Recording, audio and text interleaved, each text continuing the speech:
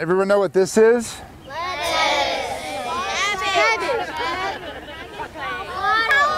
Cauliflower. I'm gonna make for you a cheesy mashed cauliflower, okay? Something that's a little, you know, healthier version. It's got really high in vitamin C, okay? Really good fiber in it.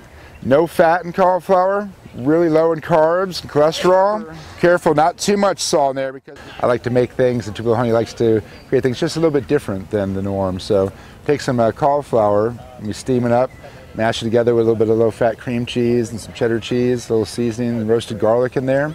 It's something that the kids are really surprised and you'll tell them what you're making. and You get kind of that face of, oh, you know, I really have to eat cauliflower and I tell them and just express them like, you know, just try it, give it a little taste, you might be surprised and you find about 90% of them are.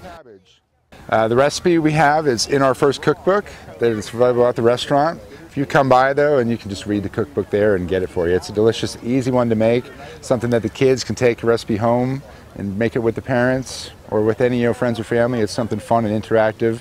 Get the family together in the kitchen is very important to me.